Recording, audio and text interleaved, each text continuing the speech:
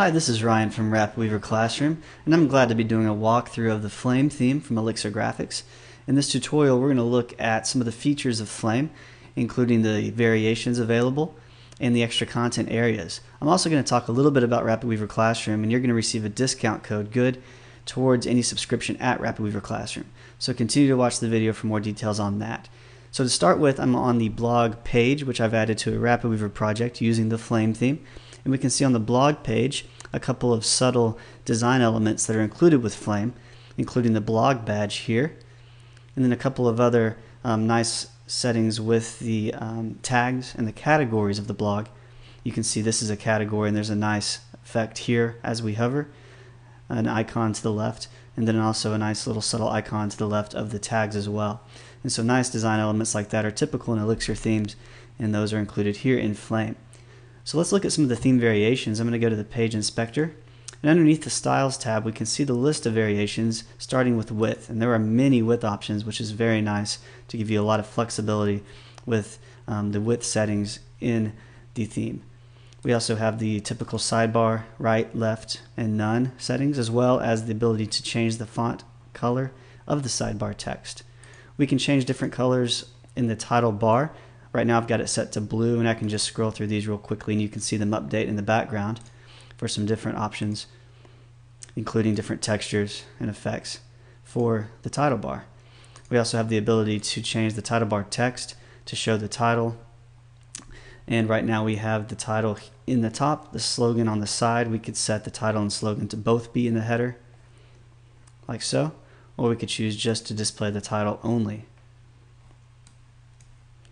we can change the menu background. You can see the menu items here across the, the top of the page. And as we hover, you can see a nice effect with the menu options. We can change the background textures here using this variation. And so I'll scroll through these quickly and you can see some of the different variations. They're quite subtle, but they are very nicely designed. We can also change the way the horizontal menu items are displayed with different colors. So I could change, change to a blue to match this title bar in my theme. Finally, we have um, extra content areas in the header and in the footer. We're going to look at those as we go to the next page. Um, before I do that, I want to note the blog badges that are available. Right now, we've got the talk bubble. There's also a star, a leaf, a cloud, and we can also choose to turn them off altogether. Finally, the color picker options are available by setting the links, the text of the body, and the text in the footer. So before I continue to the stacks page where we'll look at some of the extra content areas in the theme, I want to talk for a moment about RapidWeaver Classroom. As many of you are probably familiar with, RapidWeaver Classroom teaches um, RapidWeaver um, very specifically, very comprehensively, we also cover many of the available third-party plugins. And so you can get an idea of what those plugins can do for you before purchasing and then learn how to use them afterwards. But in addition to that, we also talk about some other um, things related to using RapidWeaver, including how to choose a theme. We have a um, set of instructions on choosing a theme, which goes for about 45 minutes. And then if we go down to the bottom of the curriculum listing, you will see a lot of other types of training, including um, simple how-tos for different things to do in RapidWeaver, how to troubleshoot RapidWeaver, and then some um, search engine optimization um, lessons, which are very important when building a website. And then finally, something we've done more recently is um, started to explore content management systems, and then also what I've called the complete design demonstration series. We'll do these over time, but for now there's one that has been created, and it walks you through the entirety, for the most part, of how RapidWeaver Classroom itself was created, how the content was laid out, including things like how I've offset these content areas with the rounded boxes. And so that is the kind of content that you can come to expect from RapidWeaver Classroom. It's more than just training on the program itself and the plugins. Um, there's a lot of comprehensive work done to really get you familiar with how to use the tools and then how to really do a good job of designing your site and different strategies for doing so. And so I'm going to put up a coupon code here um, in the screencast, and you can use this coupon code to register at RapidWeaver Classroom for a discount of 15%, and that is good through the month of May. And so from now until the end of the month of May, that coupon code will be active for you to use in registering.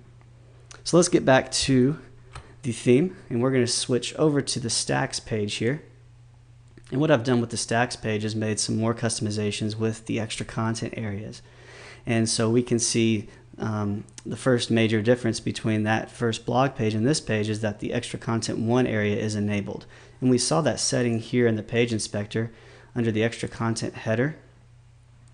And right now I have um, the tiny divots option selected and that is essentially the um, texture of the background of the extra content area. And so we can scroll through different textures to see those backgrounds display behind us um, in the extra content one area.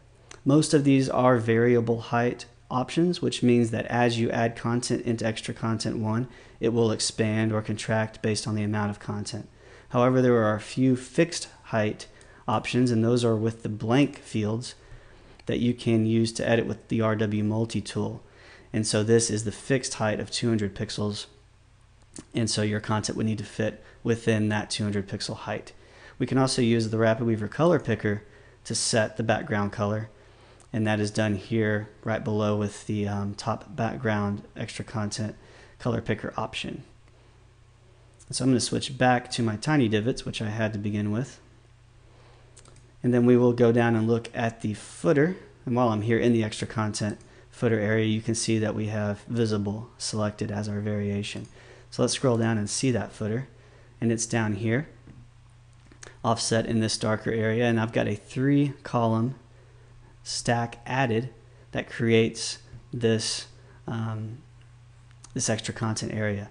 And so let's switch over to our um, edit mode so we can see how this is built with stacks we can see just some simple um, stacks added here with some backgrounds to give us um, the look of that first stack and then some text down here below. And then finally, this is an extra content stack. If I click into the inspector HUD for extra content, we can see that the one option is selected. And so that places this content into the extra content one area up at the top in the header. And what's so nice about using extra content stacks is that even though the stack itself is way down at the bottom, out of the way, it places it up at the top in the right place because of this setting here in the extra content area. Now I mentioned that the footer was built with a stack and that's actually not right. I've done that with a snippet. I wanted to show both ways of adding extra content. And so the snippets for extra content that come with your theme can be used to place extra content into a stacks page or any other type of page that you add to RapidWeaver. And I've chosen to add that snippet into my sidebar. And so if I go into the page inspector under sidebar, we can see right here, I've chosen ignore formatting to um, prevent that from showing. And we have the extra content 2 setting applied here through the snippet. And that places this content down here in the um, in the bottom in the footer extra content area. And that's a three column snippet, which easily creates this these three columns of text for me. And so this is a stacks page. We can see that um, I've added some sub menu items in here. If I drop this down in the left, you can see those pages listed. And then those are appearing here. So we have split navigation from our main navigation here over to the right in the sidebar.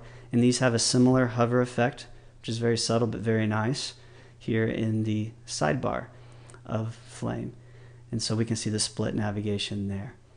And so again, this is the Flame theme from Elixir Graphics, and that is um, a comprehensive look at the options and the variations and the extra content areas of the uh, theme. So I encourage you to take a look at it consider um, adding that to your theme drawer in RapidWeaver as it's an excellent option for many types of websites. Again, this is Ryan with RapidWeaver Classroom. This is the Flame theme from Elixir Graphics and thanks for watching.